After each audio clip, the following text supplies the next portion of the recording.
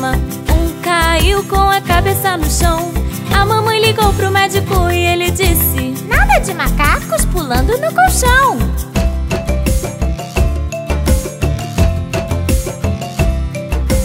Quatro macaquinhos pulavam na cama. Um caiu com a cabeça no chão. A mamãe ligou pro médico e ele disse Nada de macacos pulando no colchão.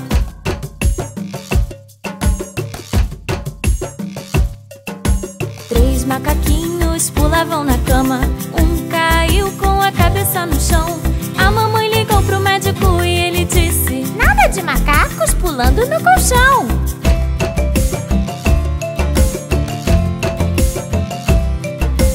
Dois macaquinhos pulavam na cama. Um caiu com a cabeça no chão. A mamãe ligou pro médico e ele disse Nada de macacos pulando no colchão.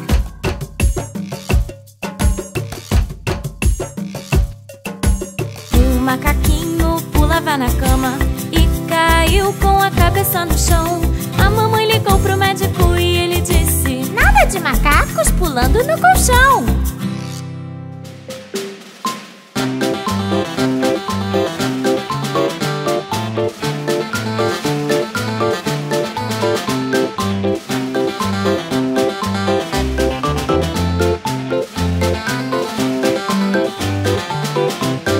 Dois elefantes se balançando.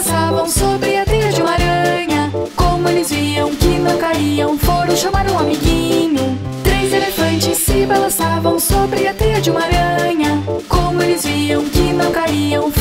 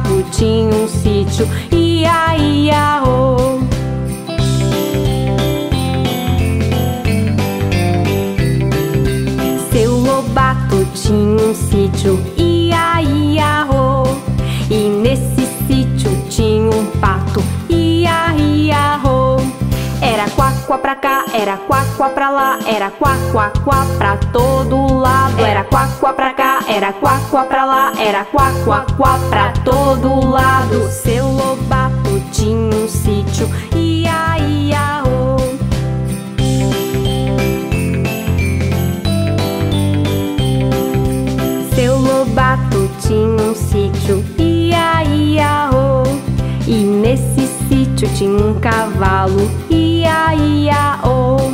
Era i, i pra cá, era i, i pra lá, era i, i, i pra todo lado. Era i, i pra cá, era i, i pra lá, era i, i, i pra todo lado. Era i, i pra cá, era i, i pra lá, era i, i, i pra todo lado. Seu lobato tinha um sítio, ia, ia, oh.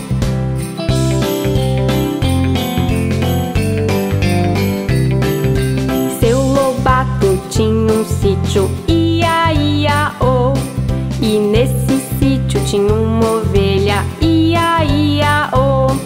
Era bebê pra cá, era bebê pra lá, era bebê, bebê pra todo lado. Era bebê pra cá, era bebê pra lá, era bebê, bebê pra todo lado. Era bebê pra cá, era bebê pra lá, era bebê, bebê pra todo lado. Era bebê pra era bebê pra lá, era bebê, bebê pra todo lado.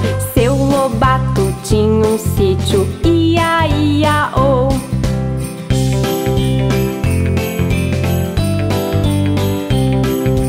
Seu lobato tinha um sítio, ia, ia, oh. E nesse sítio tinha um cachorro, ia, ia, oh. Era au, au pra cá, era au, au pra lá, era au, au, au pra todo lado. Era au, au pra cá, era au, au pra lá, era au, au, au pra todo lado. Era au, au pra cá, era au, au pra lá, era au, au, au pra todo lado. Era au, au pra cá, era au, au pra lá, era au, au, au pra todo lado. Era au, au pra cá, era au, au pra lá, era au, au, au pra todo lado. Seu lobato tinha um sítio,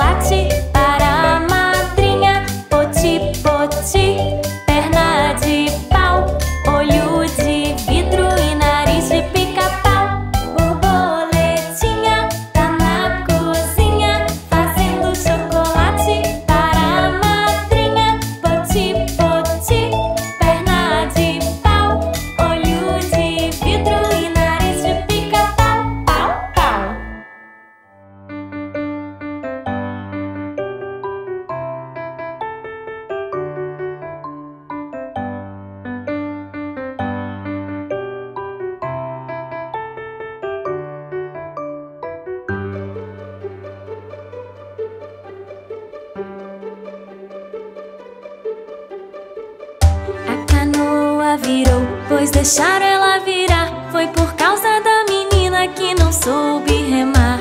Se eu fosse um peixinho e soubesse nadar, eu tirava a menina do fundo do mar.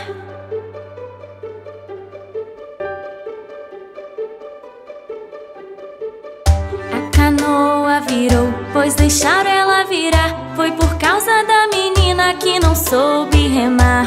Se eu fosse um peixinho e soubesse tirava a menina do fundo do mar. Siriri pra cá, siriri pra lá, a menina é bela e quer casar. Siriri pra cá, siriri pra lá, a menina é bela e quer casar.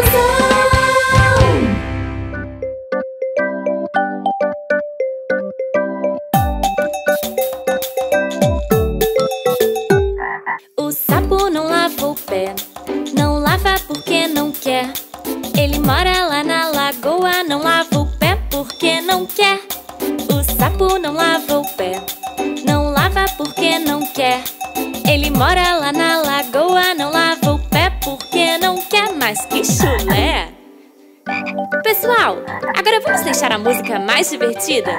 Que tal cantar usando uma vogal? Então vamos começar pelo A. A sapa na lava pá, na lava parca na cá.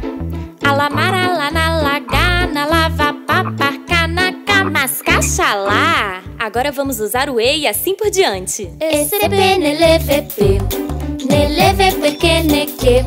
Ele merele nelege, nelevp perque neque, mes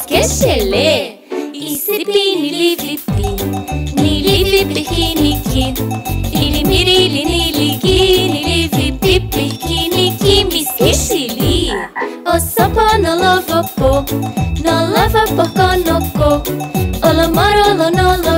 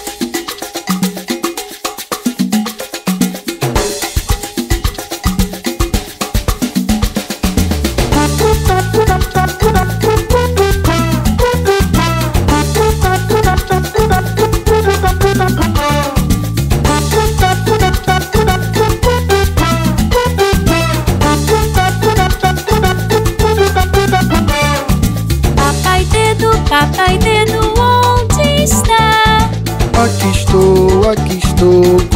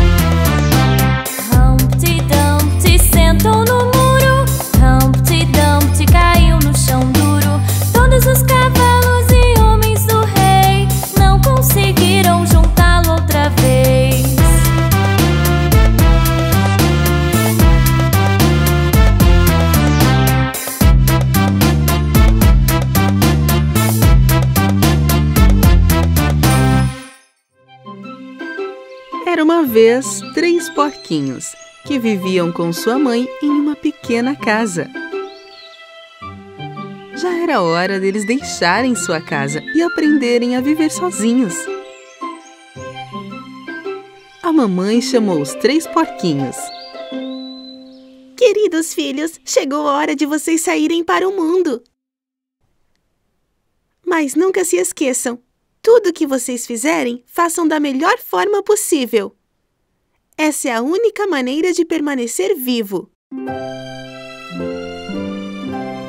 Felizes e tristes ao mesmo tempo, os três porquinhos se despediram de sua mãe e foram pelo caminho.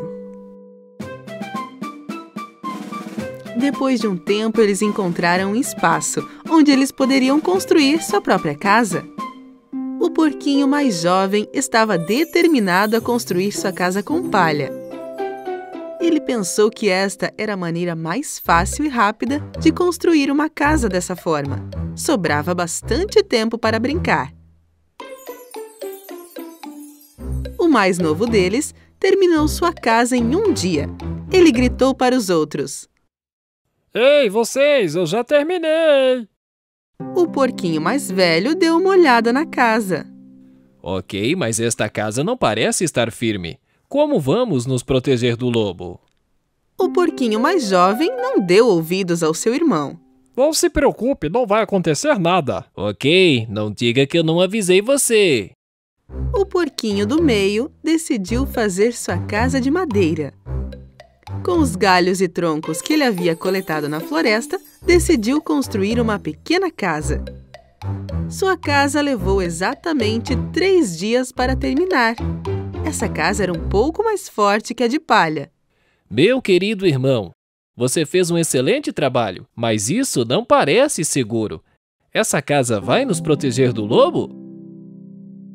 Não se preocupe, esta casa é muito segura. Ok, não diga que não avisei.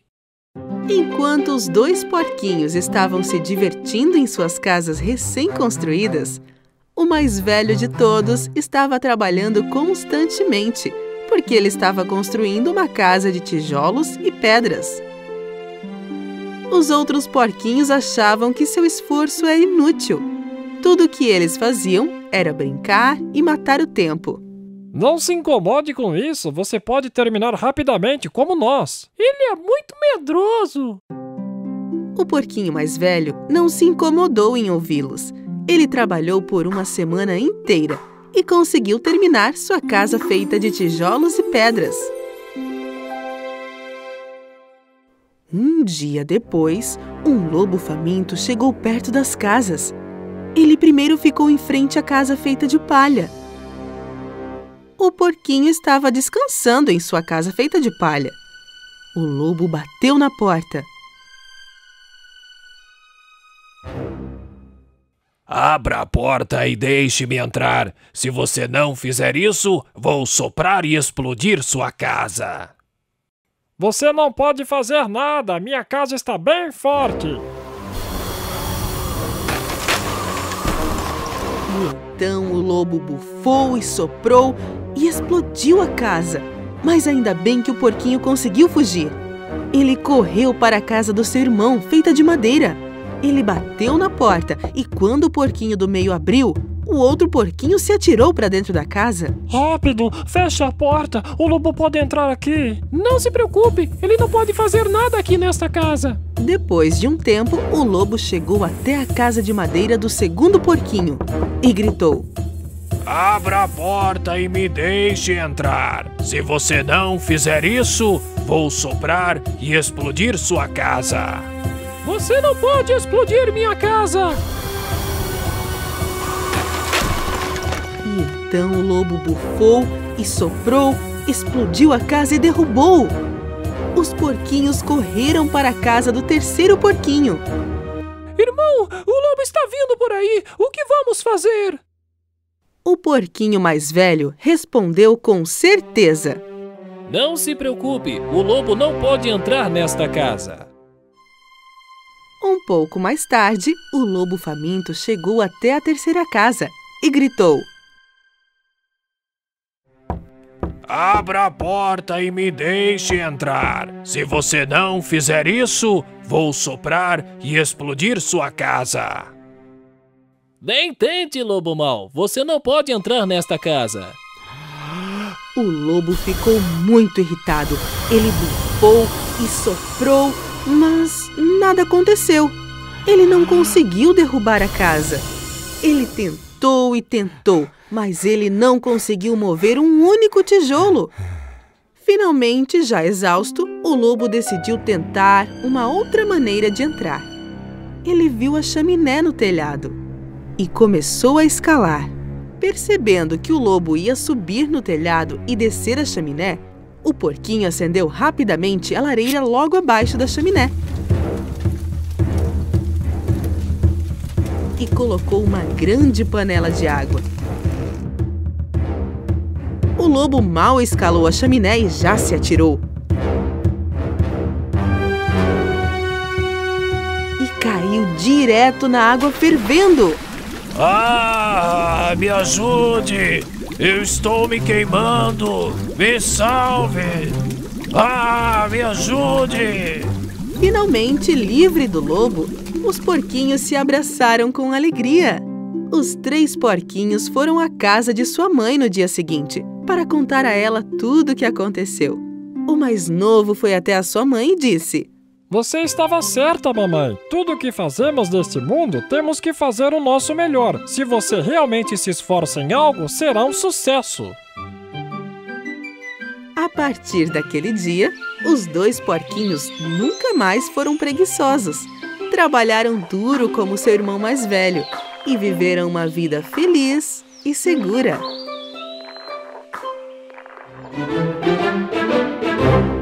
Era uma vez uma bela princesa num grande castelo. Um dia, o seu pai, o rei, lhe deu uma bola de ouro de presente de aniversário. Feliz aniversário, minha filha.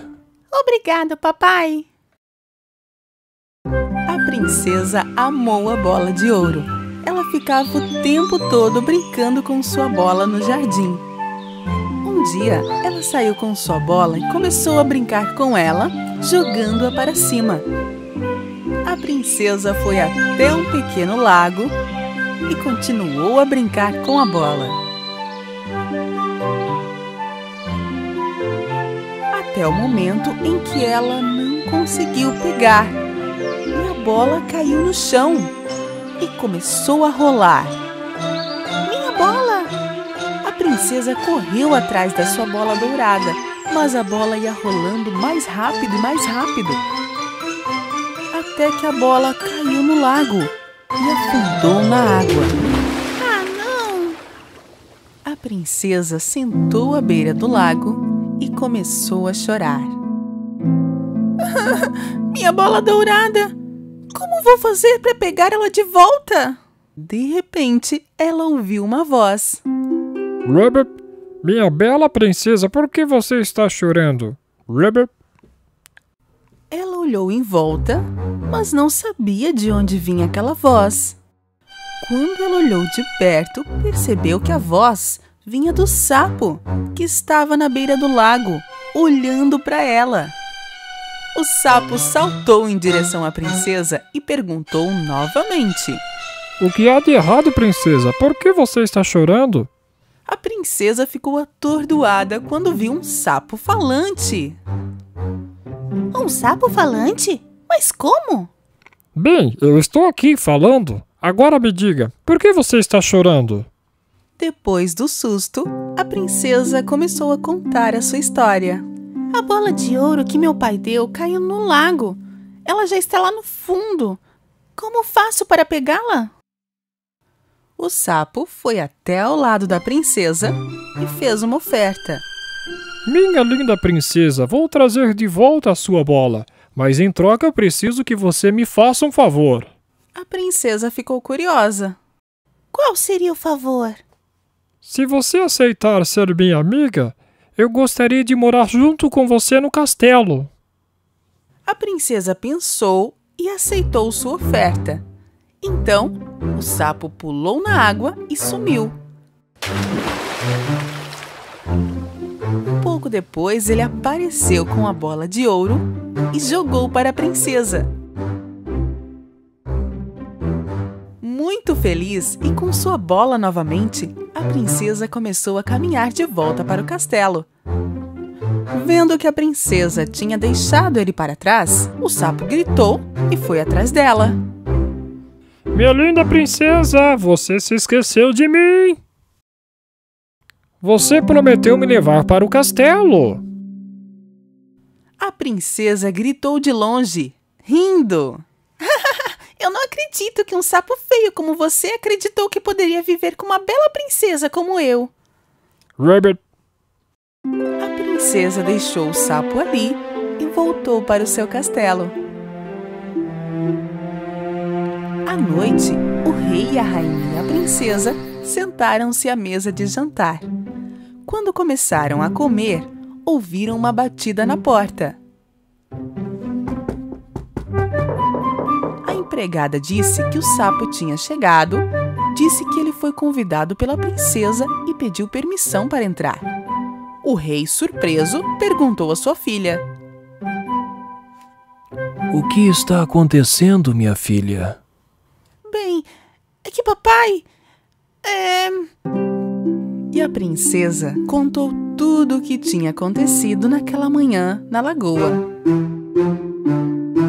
Se você fez uma promessa ao sapo para salvar a sua bola, mantenha sua palavra.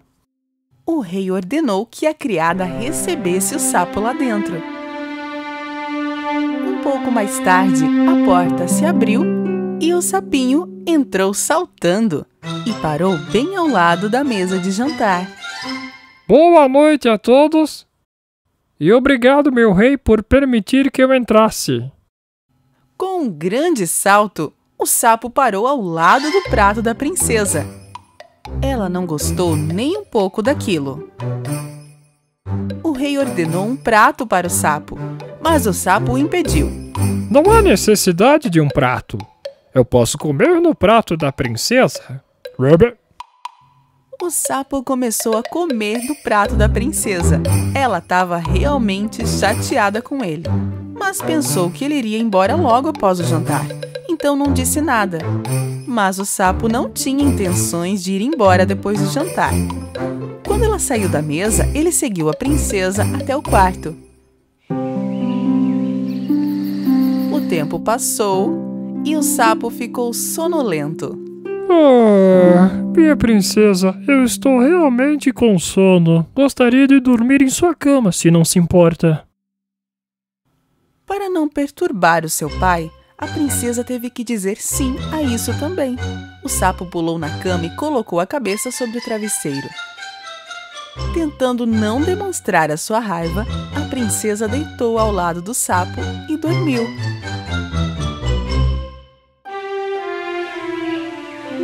Seguinte, o sapo acordou a princesa. Bom dia, minha linda princesa. Eu tenho mais um desejo.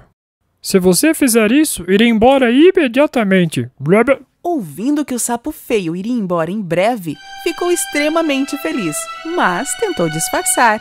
Ok, me diga o que quer dessa vez. O sapo olhou em seus olhos e.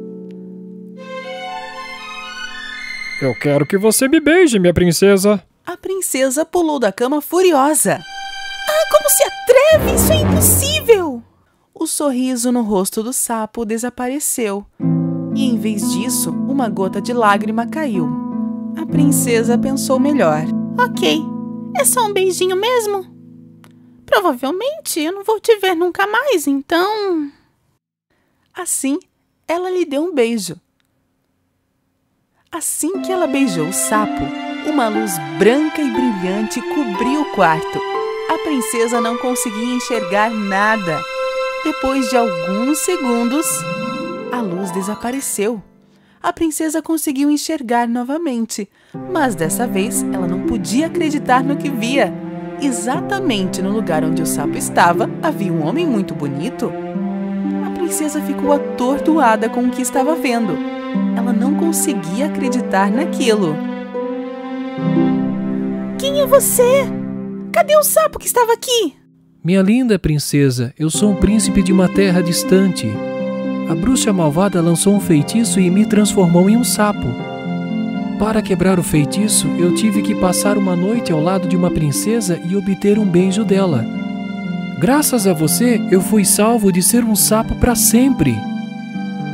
A princesa ficou muito surpresa, mas também muito feliz com o que ela ouviu. Ambos foram até o rei contar a notícia.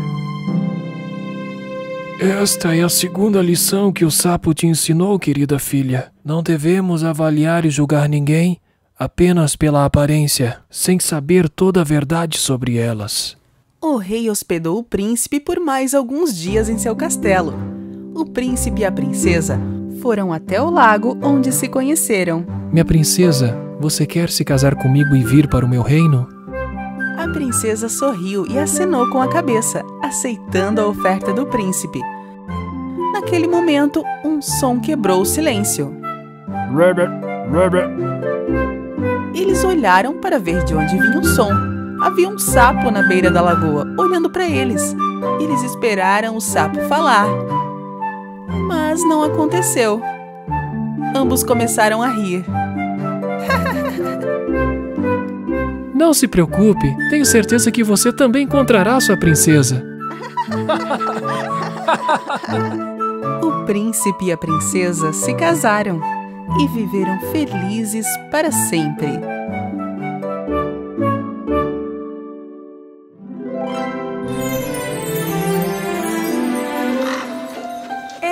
Vez um reino, um reino cheio de felicidade.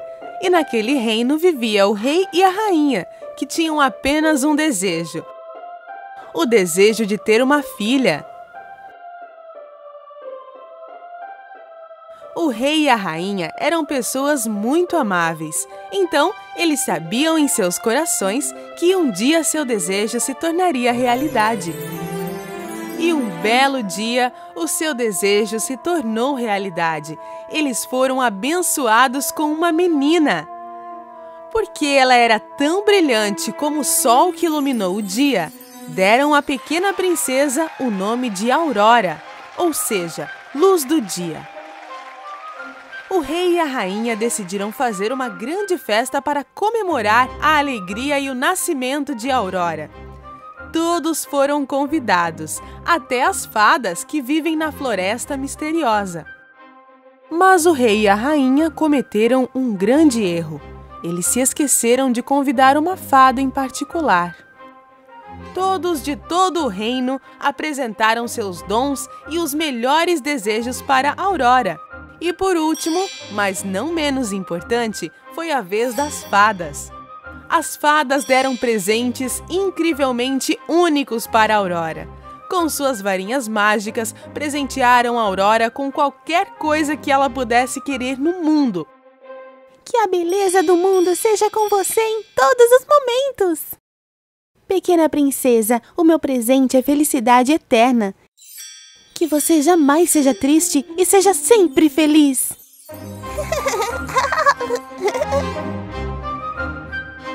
Assim que a última fada iria apresentar seu presente, algo muito inesperado aconteceu.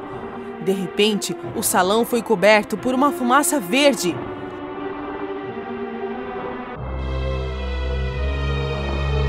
E quando a fumaça se foi, a fada preta apareceu.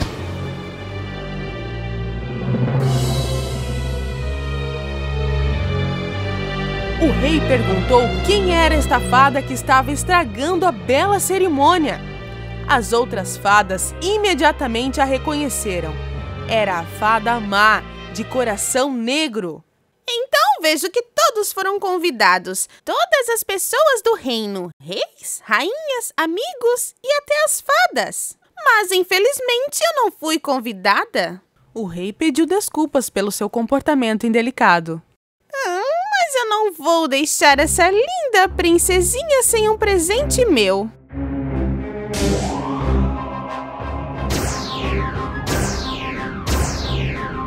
A linda princesa vai crescer cercada de amor, felicidade e admiração. Mas, no seu 16º aniversário, pouco antes do anoitecer, ela vai se picar com uma agulha e desaparecerá para sempre! Prendam este monstro! Gritou o rei, mas a fada preta desapareceu dando sua gargalhada má.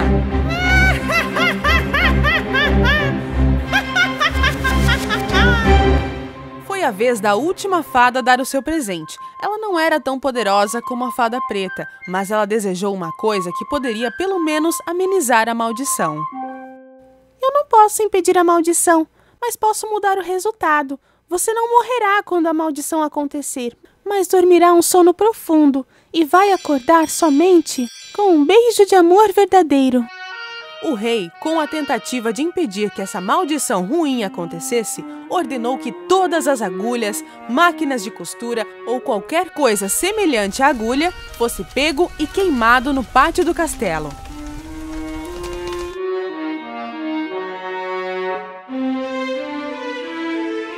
Dons das fadas, Princesa Aurora cresceu como uma criança linda e querida que todos amavam. Um dia, seu pai, o rei, ordenou três fadas para cuidar e proteger Aurora, o que provou ser uma tarefa bastante difícil para elas, porque a Aurora não estava tendo contato com ninguém além das três fadas. Aurora cresceu e se tornou uma jovem muito bonita. Finalmente chegou o dia.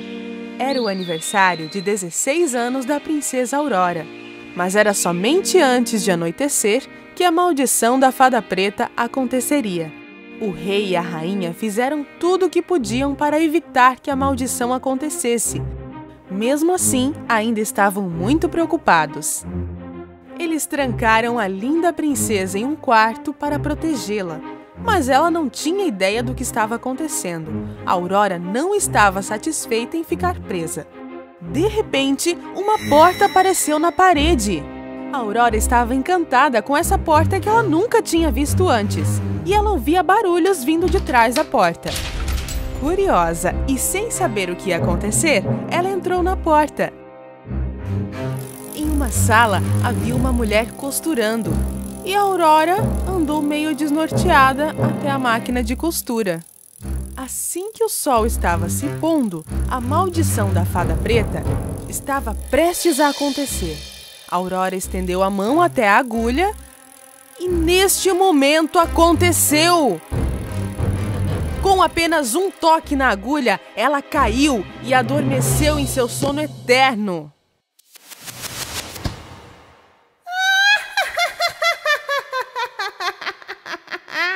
Lá estava ela. O sol se pôs e a maldição da fada preta foi realizada no aniversário de 16 anos de Aurora. Vestiram ela com sua roupa mais bela e colocaram-a em uma cama de flores. Assim começaram os dias em que Aurora seria conhecida como a Bela Adormecida. O rei e a rainha, não suportando a dor, decidiram colocar todos no castelo para dormir, até o momento em que a princesa acordasse.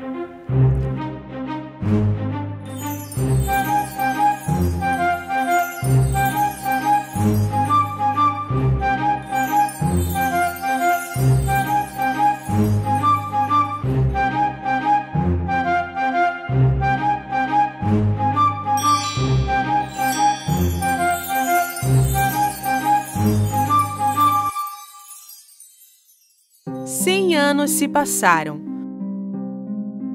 Um dia, um belo príncipe estava passando por perto e ele viu o castelo quebrado, coberto com espinhos e arbustos. Seus homens contaram as histórias sobre o castelo e a bela adormecida. O príncipe ficou entusiasmado, então ele decidiu entrar no castelo. Os arbustos e os espinhos eram muito grossos, era impossível passar por cima deles. Assim, ele pegou a sua espada e começou a abrir a passagem da sua maneira. Depois de cortar os espinhos, ele finalmente chegou à porta e viu dois guardas, dormindo. Ele abriu a porta e ficou surpreendido com o que viu. Havia pessoas caídas em toda parte. Então ele começou a caminhar pelo castelo e foi até o quarto do rei. O rei e a rainha estavam dormindo em suas poltronas. Então ele viu um quarto com uma porta entreaberta. Ele entrou. Este era o quarto onde a bela adormecida dormia, em uma cama bonita cheia de flores.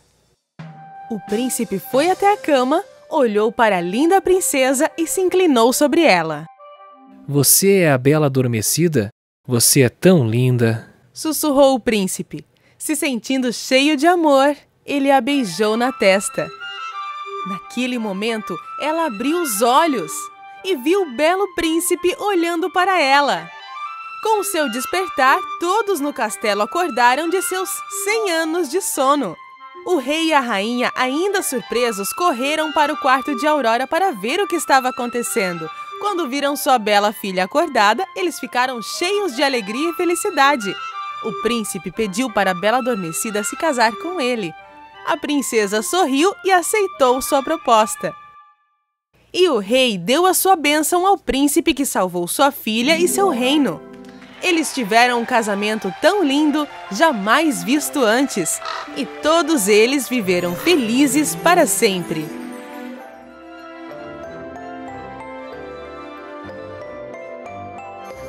Era uma vez uma garotinha que sempre usava um pequeno chapéu vermelho. Por isso, todos a chamavam de Chapeuzinho Vermelho. Querida! Sim, mamãe. Você sabe que a sua vovozinha está doente. Você não gostaria de ir até a casa dela e levar esta cesta com chás e biscoitos que eu preparei? Claro, mamãe, será um prazer. A pequenina, penteada como sempre, vestindo seu chapeuzinho vermelho, partiu em direção à casa de sua vovozinha. Não sai do seu caminho, nem atravessa a floresta dos coelhos, disse sua mamãe enquanto ela partia. Chapeuzinho Vermelho adentrou na floresta cantando alegremente. Mas por que ela se chama Floresta dos Coelhos? Eu nunca vi nenhum coelho pelo caminho. Chapeuzinho Vermelho chegou em uma clareira repleta de flores. Elas eram das mais diferentes cores. Já sei, vou fazer um buquê de flores para a vovó, ela vai adorar. Enquanto Chapeuzinho Vermelho colhia as flores, ela, sem perceber, se distanciou pouco a pouco de seu caminho. De repente, ela escutou um ruído nos arbustos. De repente, um grande lobo mau apareceu. Chapeuzinho Vermelho ficou com tanto medo ao vê-lo em sua frente que deixou cair o cesto que carregava. Ele se aproximou e logo apanhou os biscoitos espalhados pelo chão. Em seguida, ele entregou o cesto para Chapeuzinho, que ficou surpresa com o inesperado gesto do lobo mau. Oh, muito obrigada! Mas onde você está indo, minha pequena? Na casa da minha vovozinha. Ela mora do outro lado da floresta, em uma pequena casa amarela. Ela não se sente muito bem, então eu levo chás e biscoitos. Ah, verdade? Sim, sim, você pode me chamar de Chapeuzinho Vermelho, como todo mundo me conhece. Sabe de uma coisa? Vou na frente e aviso sua vovó que você logo chega. Assim você terá tempo de terminar seu buquê. Nesse mesmo instante, o lobo escutou o tiro de espingarda de um caçador que se aproximava e correu o mais rápido que pôde. Chapeuzinho Vermelho olhou em volta e, ao perceber que estava perdida, começou a chorar. Escutando seu choro, o caçador logo veio ao seu encontro. O que faz você aqui sozinha, pequena? É muito perigoso por aqui. Acredite, eu sei do que estou falando. Eu estou à procura de um lobo mau que anda por essas bandas já faz algum tempo. Chapeuzinho Vermelho estava envergonhada por não ter dado ouvidos à sua mãe e ter se distanciado do caminho entrando na floresta. Acanhada, ela preferiu não contar ao caçador que havia encontrado o lobo mau. Eu, é. Eu estava levando esses biscoitos para minha vovozinha que mora do outro lado da floresta, mas me perdi no caminho. Ora, minha pequena, eu lhe acompanho até a casa dela. Juntos, eles retomaram o caminho. Enquanto isso, o lobo mal tomou um atalho pela floresta e logo chegou na casa da vovozinha. Ele bateu à sua porta e a vovozinha respondeu lá de dentro. Quem é? O lobo mal disfarçou a sua voz e respondeu: Sou eu, vovozinha, Chapeuzinho Vermelho. Eu trago para a senhora chás e biscoitos preparados pela minha mamãe. Está aberta, minha queridinha. Entre!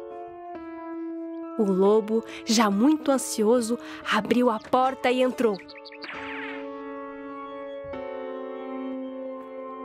Minutos mais tarde, Chapeuzinho Vermelho e o caçador também chegaram na casa da vovó. Agora vá, minha pequena. Entre depressa para encontrar sua vovozinha. Aham. O caçador retomou seu caminho e partiu. Chapeuzinho Vermelho bateu a porta e escutou a vovó responder lá dentro. Quem é? Sou eu, vovozinha Chapeuzinho Vermelho. A porta está aberta, queridinha. Você pode entrar. Chapeuzinho Vermelho hesitou por um momento. A voz de sua avó não era a mesma, estava muito diferente. Mas então ela se lembrou que sua vovozinha estava doente. Se a vovó está com essa voz estranha, deve ser porque ela está doentinha. Chapeuzinho Vermelho então abre a porta e entra. O lobo mau estava deitado na cama, vestido com as roupas da vovozinha. Ele também tomou cuidado de fechar as cortinas, deixando o quarto escuro. Vestindo uma touca de cabelo e os óculos da vovozinha, Chapeuzinho Vermelho não conseguiu reconhecê-lo. Minha querida, como você é gentil de vir até a minha casa para trazer esse cesto de chá e biscoitos. Se aproxime para que eu possa te dar um abraço. Venha, minha criança. Se aproxime um pouquinho mais de mim. Chapeuzinho Vermelho colocou o cesto no chão, mas não teve coragem de se aproximar. Sua vovozinha parecia muito mudada. Vovozinha, nunca reparei que seus braços são compridos. É, é para poder abraçar você melhor, minha pequena. Vovozinha, por que suas orelhas são tão grandes? É para escutar você melhor, minha pequena. Mas, vovozinha, e por que seus olhos são tão grandes? É para que eu possa ver você melhor, minha pequena. Hum, e vovozinha, por que os seus dentes são tão grandes? A resposta é fácil. É para comer você melhor, criancinha. o lobo saltou da cama e começou a correr atrás de Chapeuzinho. A pequenina compreendeu então que não estava diante de sua vovozinha. Quem estava na cama era o grande lobo mau que ela havia encontrado no caminho. Alguém me ajude! Socorro! Felizmente, o caçador escutou o chamado de Chapeuzinho Socorro! Vermelho. Socorro! O caçador correu em direção aos gritos. Ele entrou na casa da vovozinha e logo dominou o lobo mau. Demorou, mas eu finalmente encontrei você, lobo mau. Dessa vez você não me escapa. O caçador abriu a barriga do lobo e resgatou a vovozinha. Obrigada, senhor caçador. Você salvou nossas vidas. Ah, não foi nada. Mas você deve me prometer que de agora em diante você não vai mais desobedecer sua mãe. Uhum. A vovozinha, faminta, comeu todos os biscoitos que sua netinha havia trazido. Ela também preparou o chá e, depois de tomá-lo, ficou bem melhor. Chapeuzinho Vermelho prometeu à sua avó que nunca mais se deixaria enganar assim por um lobo mau. A pequenina tomou então seu caminho de volta para casa, cantando alegremente. Na estrada, ela cruzou o lobo que havia sido obrigado pelo caçador a limpar todo o lixo da floresta. Ao avistar Chapeuzinho, o lobo ficou muito envergonhado pelo que havia feito. A floresta dos coelhos voltou a ser como era antes, cheia de alegrias e flores e com muitos coelhinhos.